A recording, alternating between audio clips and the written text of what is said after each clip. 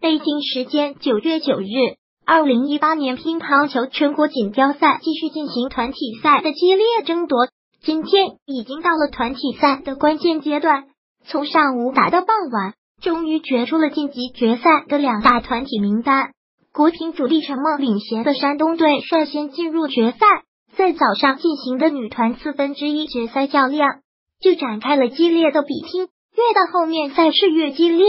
因为都是强队的强强交战，也让赛事更加有悬念和吸引力。在河北队女团对战四川队的这场赛事，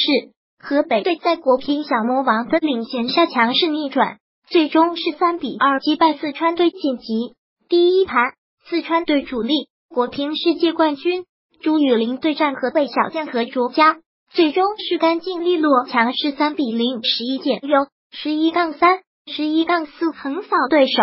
引来一比零的领先。在第二盘，孙颖莎三比零，十一减五，十一杠七，十一杠四横扫郭燕，给四川队还以颜色，扳平比分一比一。在第三盘的比赛中，河北队张孝彤很快就领导三不敌四川范思琪，河北队一比二落后四川队。在如此落后的情势下，河北队并没有失去信心。在第四盘的比赛中，孙颖莎迎战朱雨玲，可是是两队之间的最强对碰，最终小魔王强势压制对手，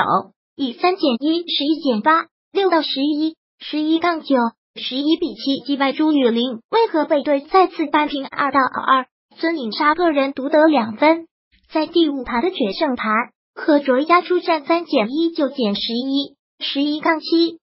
二到十十一比九击败了郭燕，为河北队锁定了胜局。最终，河北队是三比二战胜了亚运会冠军四川队，获得晋级。孙颖莎独得两分，成为最大功臣。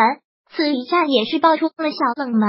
因为在去年的全运会上，朱雨玲领衔四川队获得女团冠军，所以也是今年的夺冠大热门。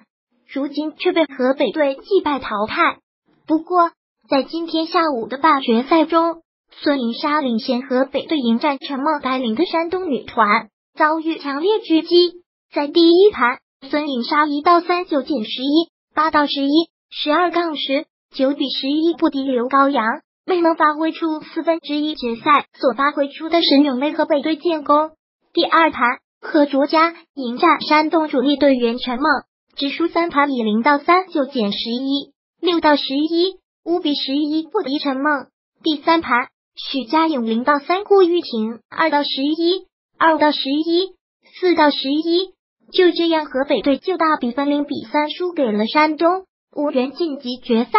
作为本届赛事的最大黑马，孙颖莎率领河北女团击败世界冠军朱雨玲，力挽狂澜，闯入半决赛。最终却输给了陈梦领衔的山东队，确实非常可惜，也说明了全国锦标赛的残酷，简直是地狱级别的赛事，